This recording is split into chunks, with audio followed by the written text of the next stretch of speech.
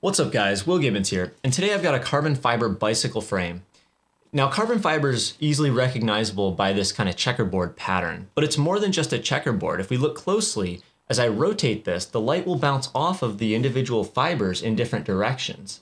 And so that's part of what produces this really cool material finish.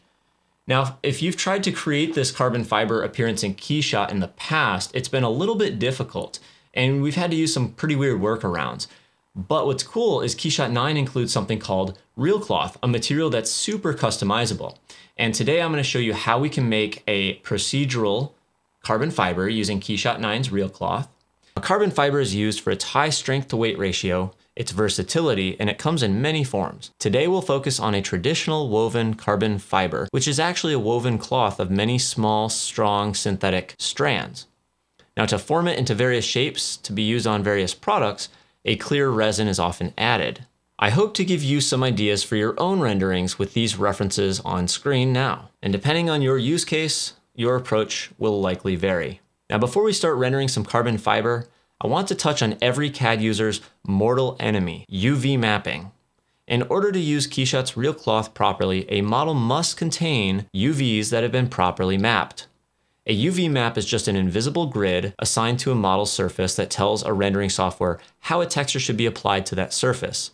U and V refer to the vertical and horizontal directions of the grid. The letters U and V are used to describe a two-dimensional workspace, such as a grid, to avoid being confused with X, Y, and Z, which often refer to the 3D workspace, such as the one your model is created in. So now when you create a model in CAD programs like SOLIDWORKS, Fusion 360, or Creo, surfaces of the model are automatically split into patches. These patches are defined by points in space and connected by splines, like the 3D version of uh, shapes made in Adobe Illustrator. Now, CAD programs use NURBS to create efficient models with infinitely smooth surfaces and produce manufacturing data for machines. While NURBS data does contain UV coordinates, you typically cannot modify the UVs because it's tied to the NURBS data. This is a limitation of nearly all modern CAD programs. Now, polygonal modeling software doesn't use NURBS to describe 3D surfaces. Instead, a network of polygons consisting of vertices, edges, and surfaces are used to create 3D models. Rather than irregular NURBS patches, polygonal data often appears as a grid of polygons. This grid makes it easier to assign texture coordinates to the model. Because of this, nearly every polygonal modeling program has built-in UV editing tools which allow you to manually edit the UV map, choosing exactly how textures will flow over the surface of the model. In summary, to take advantage of Keyshot's real cloth feature, we need a model in which the UVs have been properly assigned for the desired result. Because of this, I built a majority of the speaker model in Fusion 360, my CAD tool of choice, but then modeled the carbon fiber shell and the TRS cable using Blender, a free open source polygonal modeling program. I also used its UV editing tools to assign seams and proper UVs so my textures would flow over the surfaces exactly how I wanted. Showing you Blender's UV editing tools goes beyond the scope of this video, but if you're interested, I could cover that in another video in the future. Also, it looks like a future version of Keyshot may include UV mapping tools, so keep an eye open for that. Once the models were made, I imported them into Keyshot. For those who wish to follow along, I've packaged all the project files for you to download for free. Just head on over to willgibbons.com slash download. I'll include a starting Keyshot scene, a completed Keyshot scene, a 3D model, and my custom carbon fiber multi-material with variations, all for free. All right, once you've downloaded your project files, you're going to want to open up the starter scene, and this should launch in Keyshot 9. And what you'll see is a speaker model, and we have this broken into three separate parts. If we look at our model sets, we have a ground plane model set, a speaker model set, and the enclosure model set here. So go ahead and double click on the blue part, and we're going to change its material type from diffuse down to real cloth. And first thing we're going to do is edit the weave pattern to create our two over, two under carbon fiber weave. So change our warp and weft to a 4x4 grid. And I'm going to click on these fibers to create that over under pattern that I want. And this part just takes a little practice and uh, looking at a photo reference. So once our weave pattern looks good, we want to set the width and the tension to be the same on both the warp and weft. And I accidentally put a 1 for my tension at the top there, I meant to put a 0.1. So let's do 0.95 for the width and 0.1 for the tension on both of those, and then go ahead and hit apply and then close that box.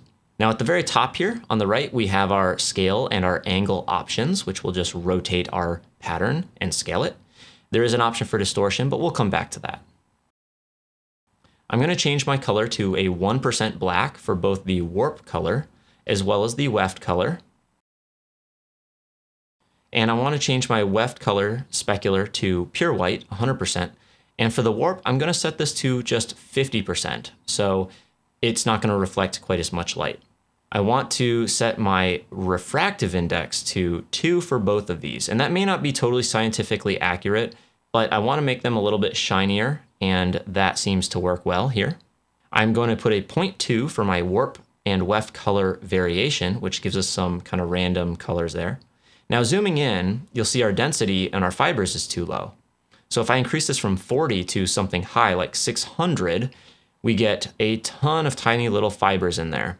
I'm going to set the warp fiber detail to 0.9 to give me more visibility on there, more detail. And I'm going to set the warp ply count and the warp ply pitch both down to 1, which in my experience doesn't make a big difference, but uh, again, we don't really need those values to be anything higher. So once we've done that, we should see a bunch of little strands for our warp and weft looking pretty good. And the distortion value, I put a small value in there just to make it uh, less perfect. You see, if I crank it up to two, it gets all wavy.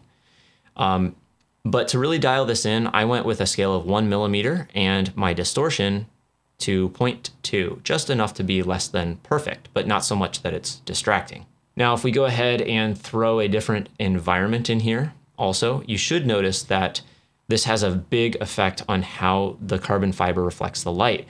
So the smaller and brighter the pins you have in your HDRI, the more reflective those little fibers will be and the more they'll stand out.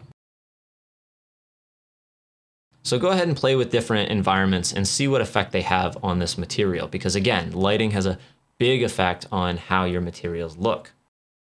We're going to go ahead and put the two panels straight 4K on here and then we'll proceed.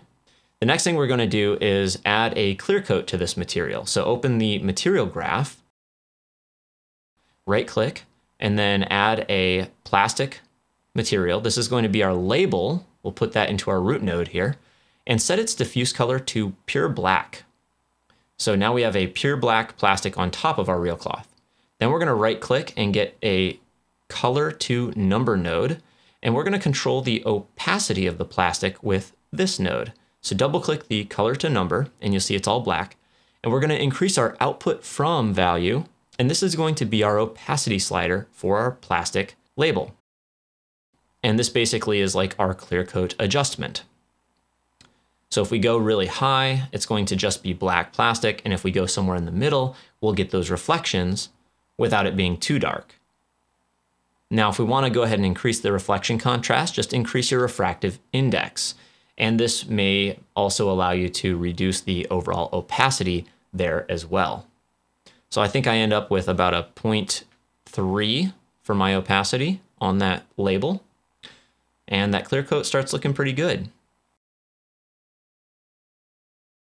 So next we're going to shift left click on that to copy that material, shift right click to paste linked to the inside of the speaker enclosure. Now, if we pop back into the material graph and convert this to a multi-material, this gives us the ability to make variations. So I'll go ahead and duplicate this material and I'll click that button up top to realign those nodes. And we're actually going to use the one real cloth material on both submaterials. So see how I connect those two? Let's go ahead and name the top one glossy. And then the next one is going to be a matte finish. So we'll call it matte. And then all we have to do for this one is go into that plastic label and change the roughness value. So I added 0.1 roughness, and you'll see how it kind of spreads those reflections out, making it look like a matte finish. Pretty cool.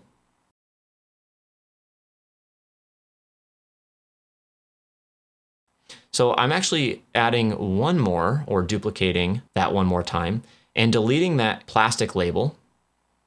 And what this is going to allow us to do is create a raw or an uncoated version of that carbon fiber. And this time we don't use the same real cloth. And here's why. We're actually going to go and turn on flyaway fibers.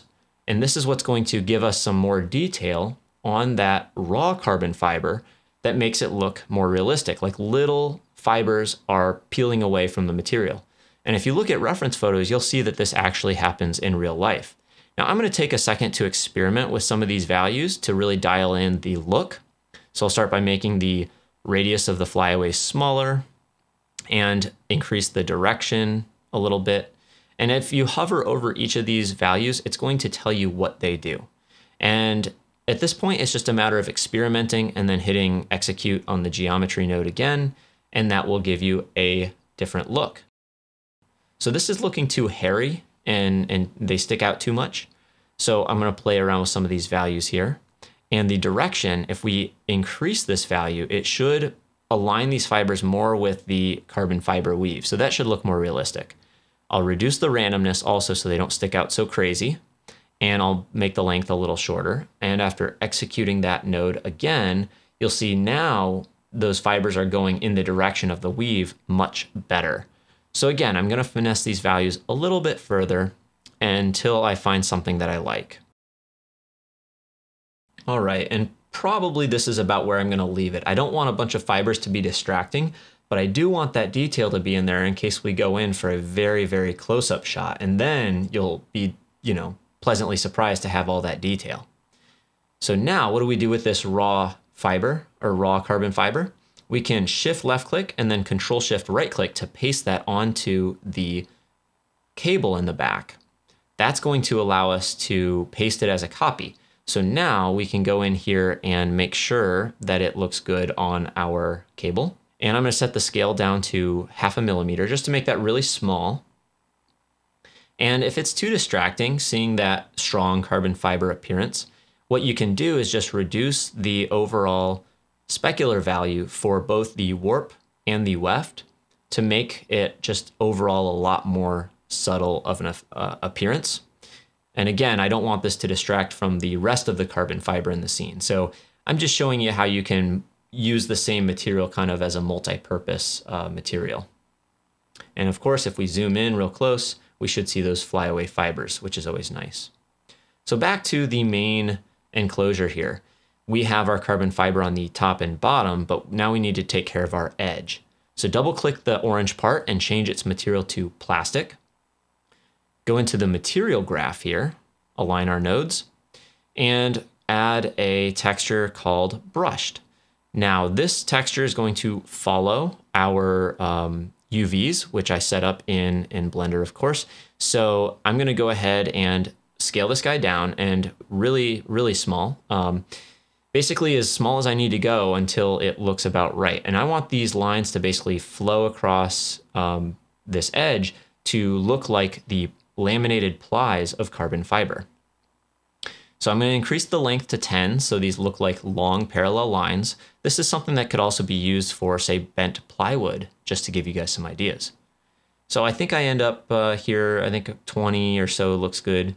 Also, if you are curious, you can see there's a seam in the back right where that uh, lines up there. That's where my seam was for that, that edge when I did my UV mapping. Okay, so if we go in here, I think I want to go a little bit smaller here. I'll bring the width down, 0.003. I think that's looking pretty good now. Maybe even a touch smaller, 0.002. And again, this is all up to you. It depends on how close you're going to get in with the camera on this. But at this point, I'm going to go ahead and change my orange to a black color for that plastic. And then we'll plug the brushed into our bump and see if we can get some bump texture out of this. Double click the brushed node and we're gonna go into our bump height and set that from 0.5 uh, to about 0.75. We'll plug that into our roughness of our plastic as well. And we're gonna get a color to number node on that roughness. Hit C to preview that guy. And we're going to reduce our output value to darken it. This is going to um, oh, and we're going to add a little bit of, uh, make our output from 0.01, just make it a little bit brighter. But what this is going to do is basically take our roughness value and we're going to dial this in here. And as we bring these values closer together, we're going to have just a subtle difference there between the roughness. The black values or the darker values will produce a shinier effect, whereas the white values are going to produce a more rough appearance. So again, this is all to taste. I'm just playing around with these values here, but um, increasing your output from will make the black values brighter, and reducing your output to will make the white values darker as um, darker. Yeah, that's right. So anyway, when all is said and done, we're looking for a kind of a subtle balance between our, our light and dark values here. And that's going to drive the roughness, and that's going to stretch out reflections, uh, creating a little bit of that kind of anisotropic effect that we like there too. So if I go back into my brush value, my bump height's not quite high enough, so I'm going to bump that up to a little higher, maybe 1.5. I'll exaggerate that. And I'm also going to plug this into our specular value of our plastic and add another color to number. And once again, this is going to control how much light reflects off the material. So by playing with these values a bit, we can make it not quite so shiny or not quite so reflective. Um, and overall, I think that looks pretty good. It should look pretty rough because when you have a laminated carbon fiber, it's going to give you that kind of very rough edge. So now I'm going to make sure I name my material so we can save it to our library. I'll call mine custom carbon fiber um, real cloth, and then I'll go ahead and hit the save button and throw this into my custom folder and hit OK. Actually, I'm gonna hit cancel, but you can hit OK if you wanna keep it. And at that point, we're looking pretty good. Um, I'm going to see, you know, check out my matte versus glossy finish. I like the way the glossy looks. And um, last but not least, I'm gonna make sure I have all my parts on. So I'm going to turn on all these other model sets we see how everything looks together. And overall, this is where we end up. So hopefully you guys learned something through this process. Um, I know it was fast, but I wanted to keep this tutorial as short as possible. So hopefully it's not too fast. And if you guys need to, you can pause or, um, you know, watch it a couple times. But uh, I encourage you to experiment. Let me know how it goes. Uh, comment down below if there were any questions or anything I missed. And be sure to upload your results to Instagram and tag myself at Will Gibbons Design and use the appropriate hashtags down below so you can be featured in the Render Weekly contest or perhaps by Keyshot as well. Anyway, guys, uh, last but not least, if we go in and uh, if you want, you can add a photographic image style. This allows us to crank that contrast and exposure a bit, which is what I find really makes the image pop. This will give you that nice contrast in your carbon fiber. Maybe a little um, bloom if you want. If you want to get those that kind of glowy, dreamy effect, you can crank the bloom up, add a bloom radius that's pretty big, and then increase your threshold to reduce the effect so it only appears on the brightest areas. And then when all is said and done, when you like what you've got, I like to take my bloom intensity down just a little bit. About 0.5 is good for me. So anyway, I hope you guys had fun. I hope you learned a lot. Let me know if you have any questions. Say hi on, on the social medias. And again, just check all the links down below. I'll have as much information um, as I can there for you. But um, yeah, until next time, happy rendering, guys.